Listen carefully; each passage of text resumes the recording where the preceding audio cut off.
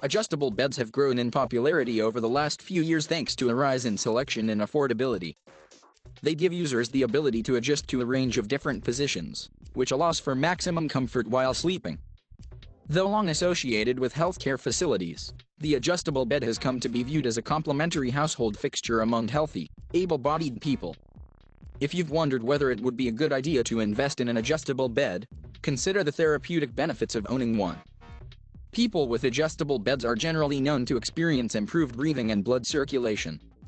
For those who suffer from various health problems, adjustable beds offer improved healing while decreasing the risks of heartburn, joint swelling and back pain. Adjustable beds allow users to sleep in what's known as the Fowler's position. The body, lying in the supine position, face up, is raised 45 degrees from the waist on up by an elevation of the bed's head portion. Fowlers can reduce the risk of heartburn caused by GERD, also known as acid reflux, GERD is when the contents that haven't left the stomach make a reverse trip to the esophagus. The position can also help improve breathing and healing among postnatal women and people who've recently undergone surgery. With an adjustable bed, Fowler's position can be achieved in a more comfortable way than a sleeper would experience with stacks of pillows.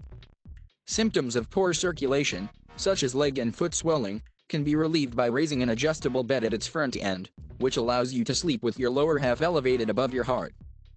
For symptoms of lower back pain, an adjustable bed can be raised slightly at both the head and front, placing the sleeper in the zero gravity position, where the head and feet are elevated above the midsection.